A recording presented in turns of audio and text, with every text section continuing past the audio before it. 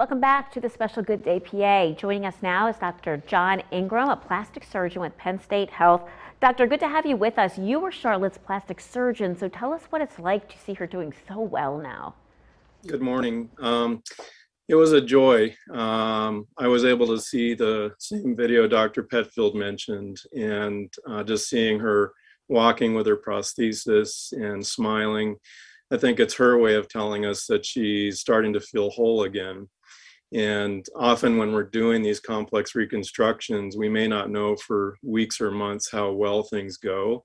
So it, it's really uh, completion for me and, and job satisfaction. You work very closely with the orthopedic and trauma teams to really treat these types of traumatic injuries. Talk about that partnership. Well, it's um, very gratifying. Uh, not only are they colleagues, but they're also friends in many cases. And I think as, as we experience in many walks of life, doing something as a team rather than as an individual um, just has more uh, power behind it. And we, we collaborate, we talk, we plan. Um, and unto that, I think it's very important for the families to see that team approach um, so that they know that a lot of people, a lot of different specialists are rooting for their child. What is recovery like for children when they have such a devastating injury?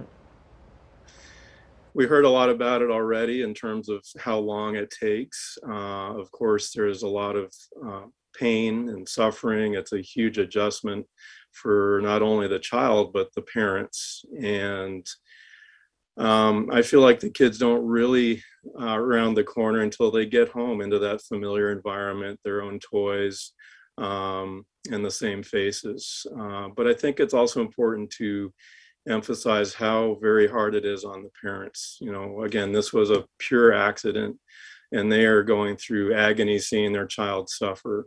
Um, so I feel like they're my patients too, in a way. And I, I do try to tell them very early in the process that their child is going to help them through this. Uh, it's really true and it's amazing. I want to switch gears now because, again, you're a plastic surgeon. What other types of injuries do you see from kids?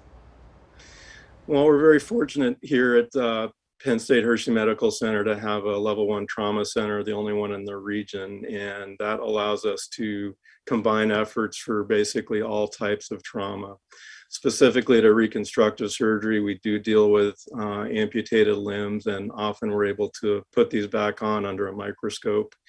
Unfortunately, we see a lot of dog bites, um, facial fractures, and other fractures from motor vehicle accidents, and a lot of farm related injuries.